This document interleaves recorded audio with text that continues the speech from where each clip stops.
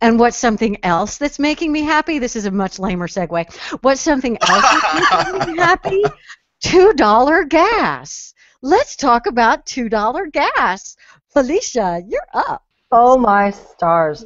Okay, so everybody has noticed that um, that gas prices have come down. It's been the story in the media for a lot. We can uh, we can definitely lay that a lot at the feet of the success of fracking. We have uh, boosted our production a whole bunch. I really wish Corey were here. She could speak to this much better than I can. But suffice it to say, coming into the Christmas season, consumers have a lot more money in their pocket because it's not going into their gas can, their or their gas tanks of their cars anymore. And this is a great thing, you know, that you think extra Christmas presents, you're thinking, you know, maybe a little, uh, little extra trip to see a couple extra days to go see the family during the holidays, whatever it is. But people have more money in their pockets. They got more walking around money, as it were.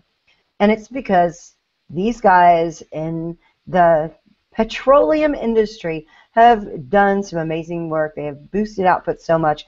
Uh, the Saudis are worried. Everything, you know, all the good things that are coming from this are just enormous. And then we get this perspective from sfgates.com, uh, which is. And that's San Francisco, right?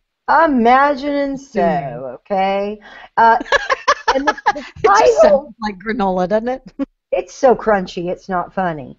Um, the title of this uh, piece is called $2 Gas is the worst thing to happen to America.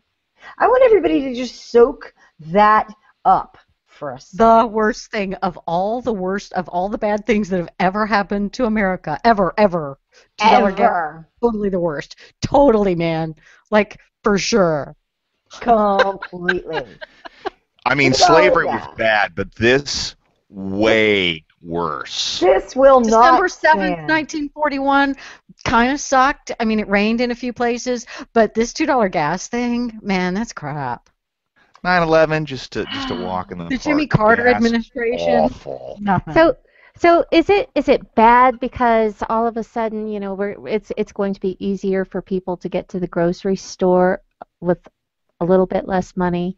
Is it bad that people are going to be able to get to the hospital for needed treatments with they can a little buy bit more less stuff money? Walmart, which makes They can- Walmart successful, and that's bad. Oh, Yes. it's not bad. Yes, you guys, you, you, you, you clearly, since since you're not on a coast like I am, you don't understand this.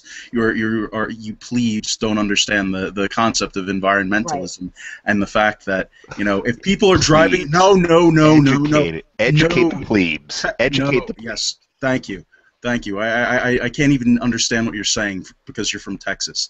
Um, the thing is, is that if people have more money and and are have better access to uh, to to gas, to fuel, they're driving around, and that increases their carbon footprint, and that means that uh, they're less likely to, uh, to, to, to try and buy energy efficient vehicles and stuff that technically also burns fossil fuels because they need to power the electric plants somehow, but we don't really think about that too much. There are windmills involved.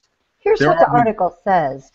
When gas right prices skyrocket, we adapt in all the right ways. We drive less, we ride share more, we telecommute, we walk to work, we get out of our cars and back into the more connected social flow. Alternative transportation gained tremendous support, and people begin to think differently for the better. And then you skip down in this article, and here is what they suggest. Here's an even more awesomely helpful and radical idea than increasing the gas tax just a little. Increase it $5 per gallon. Hell, make it 6.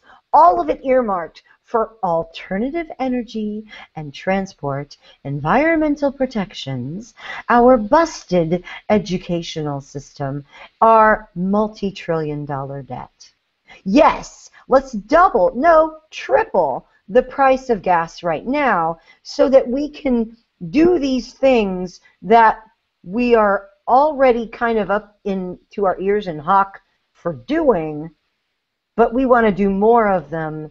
So let's make it more impossible for the poorest and the lowest income people to get around, do things, have more, have a little more uh, groceries in their cart or more presents under their tree. Screw that. Just jack up the prices three times as much.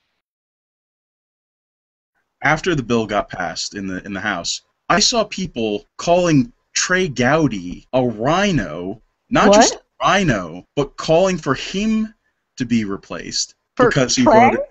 Yeah, yeah. What?